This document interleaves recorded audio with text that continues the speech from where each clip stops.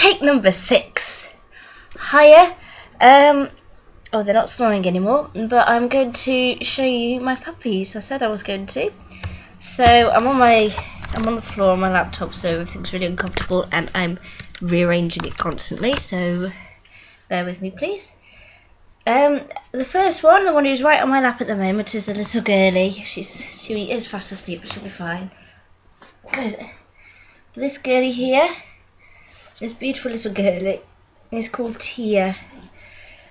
She's a nice, sweet little one, and oh, just in time. This monster who's just been trying to push his sister off my lap is Jakey. Oh, isn't he cute? Look at him. So I don't do anything wrong. I'm a good little boy, I swear. No, you're not. No, you're not. You're a savage little evil man, aren't you? Stop trying to press stop. Stop trying to press stop. That's what your sister was doing earlier, which is why I've got six takes. They're all going fine. Then she pressed stop. But yeah, they're all nice and calm now and they're asleep, but early they weren't. Earlier, all that could hear was which was these two fighting. And at one point, I actually saw blood on Tia's tummy, so I had to lock them away separately because they are getting way too rough. He's rearranging himself. They will sit on top of each other so long as they are closer to me.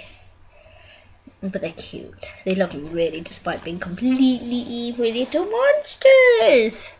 That's puppy talk. That's not how I normally talk. But yeah, I take them out. I've been left at home alone for a week because my parents, well, my mum, stepdad, and brother have gone to Benidorm on holiday, obviously, and um, I'm not interested in that type of holiday. The type of holiday we just sit on a beach and don't do anything, or sit by the pool and don't do anything. So um, I was going to stay home alone anyway.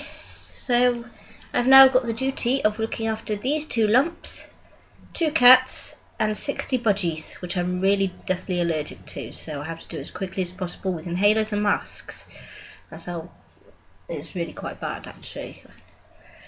But nevertheless, somebody needs to look after them, and I'm the one who knows what to do, so it's down to me. My eyes look really dark on here, but I've actually got quite light eyeshadow. It's because of all the shade. Oh, and this isn't something stuck up my nose, it's my nose ring, see?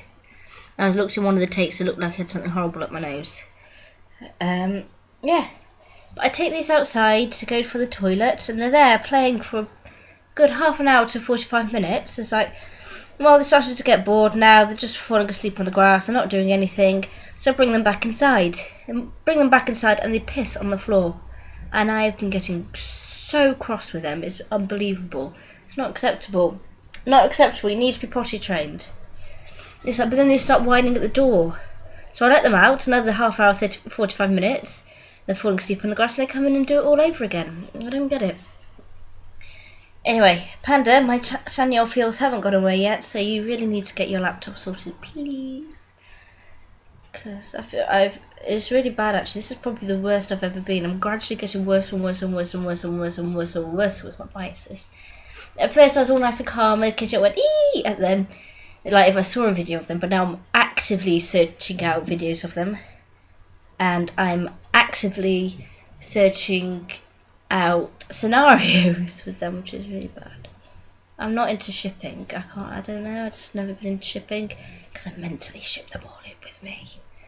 It'll never happen. I'm not that delusional, but you know, it's a dream type thing, isn't it? There's kind of the huge language barrier that stops it, of course. But yeah, I suppose that's all I have to say. And I hope you like my puppies. One day I'll probably do a proper video that's not on my webcam, showing you how vicious and and savage they are. No, they're beautiful, really. Tia and Jake, my little boy and girl, who love me so much that they're giving me dead leg because I piled onto my lap. Anyway, I hope you all have a nice day, and I'm really sorry for the trash that was this. Thank you. Bye bye.